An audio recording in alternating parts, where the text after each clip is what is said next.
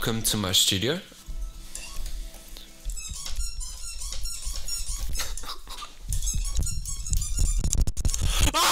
Hello, welcome to the channel. Uh, my name is Hykrone and I, I make music and today I have a studio tour for you. I really like the auto tune. Travis Scott in the building! I probably look goofy with a beanie and like my, my headphones. Basically, I live in an apartment. Been living here now for three years and this has been my studio setup for the last three years. It's changed over the three years. It hasn't been like this the whole time. If you go back, or probably no one, but like if you saw old photos of this studio, uh, you can see there's like no cables at the bottom of the desk but in reality there was actually so many cables I just photoshopped them out. But now I actually have no cables underneath the table. I've actually sorted out everything and made it work, so it's really nice. IKEA, they sell these new smart plugs that you can connect to, you know, your Apple Home or IKEA Home. And what I've done is I've, uh, which I've the city don't sleep no more, baby. Hykrone Studio Tour, baby.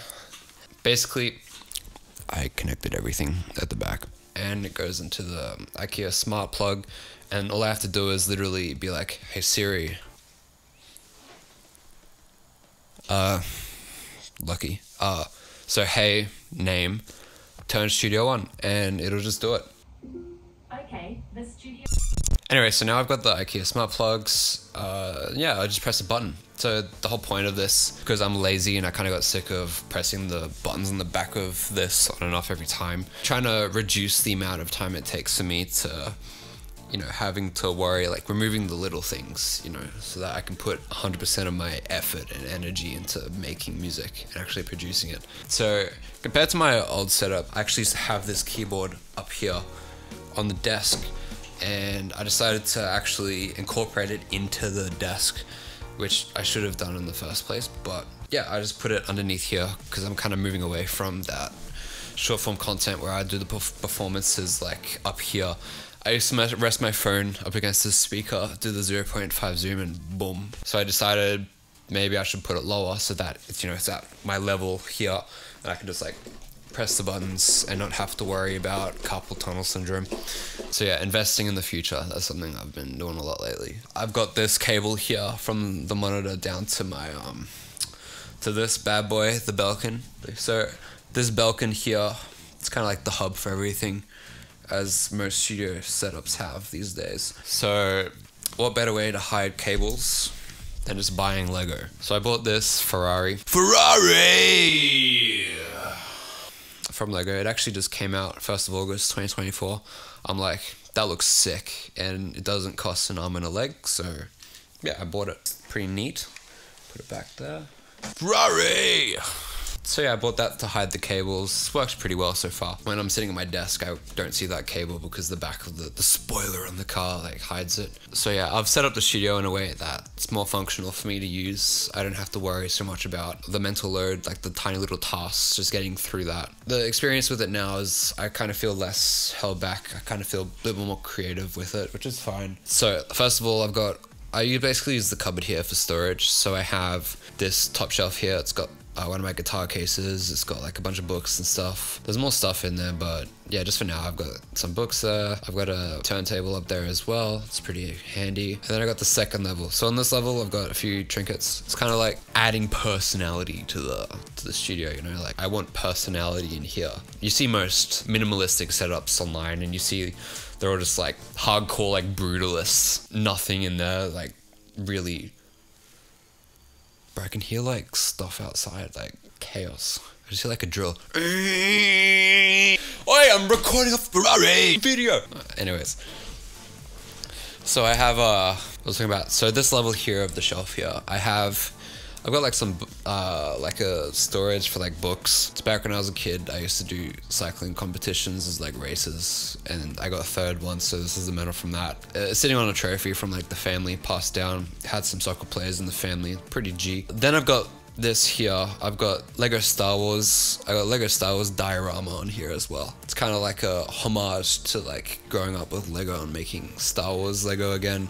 The story behind it, I actually owned it for two years and I just didn't build it. So I'm just like, I should probably build it. And so I just built it.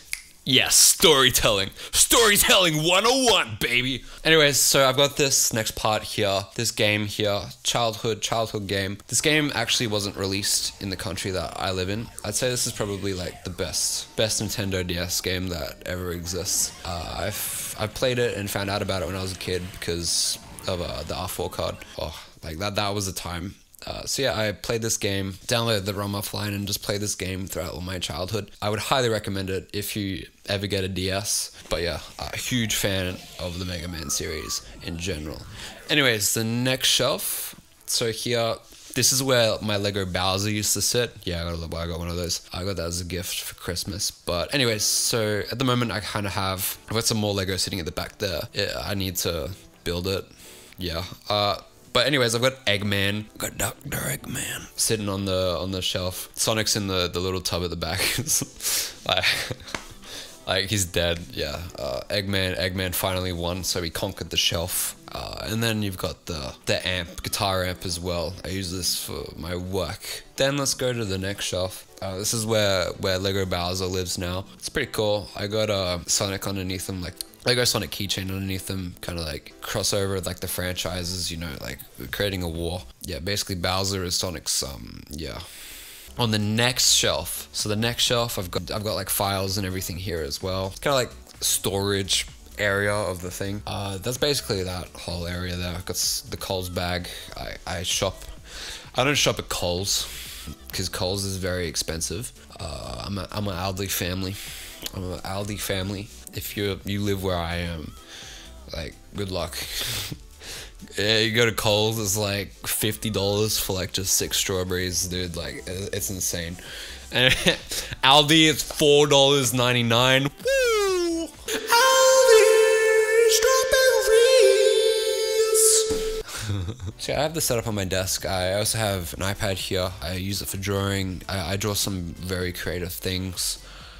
Uh, very, very, very imaginative, I have to say. Uh, I use it for good things. Uh, so yeah, I've got my guitars here in the room. I've got the lamp. So this is uh, the new IKEA lamp as well. New IKEA lamp. Uh, I've been thinking of buying a second one to balance out the other side because Snorlax, although is usually like a lot larger, here is like a little bit. He's not big enough, you know. Like, and there's not much light coming out of him. So I, I like the Snorlax, but push comes to shove, I might have to retire him for another lamp to balance the lamp. And then you look over here, I've got the launch pad. So I, I use the launch pad if I want to be Fred again. I, I don't really like want to be Fred again, but like if I ever wanted to get into finger drumming like crazy, like sure.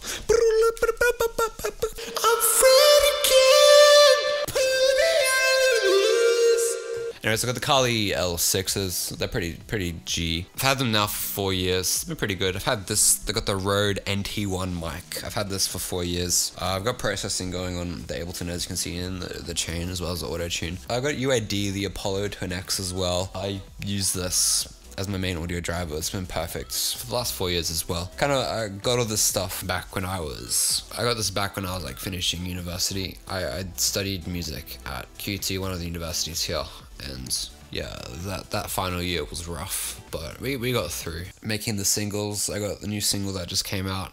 Leave it behind. It's pretty. I'm I'm I'm happy with it. The desk. I should mention the desk. So the desk is from DJ City. Uh, I had a collab with them. Uh, the desk isn't a part of the collab, but I bought this desk when I was last year of uni as well. So it was a part of like the big like you know we're gonna we're gonna do it you know like we're gonna change change the world with the desk. Uh, i should also mention i've got this bench in here as well. Uh, i've got the uh, i've got dj uh, something 600 i think. Uh, i'm bad with these like the names of these things. So i've got a dj deck. I have absolutely no idea how to dj can you please teach me how to do it? Uh, I actually have a show coming up with some friends. I have no idea how to DJ. Thank you very much for watching. I've really enjoyed making this. I want to make more videos just in general. My name is Hykrone.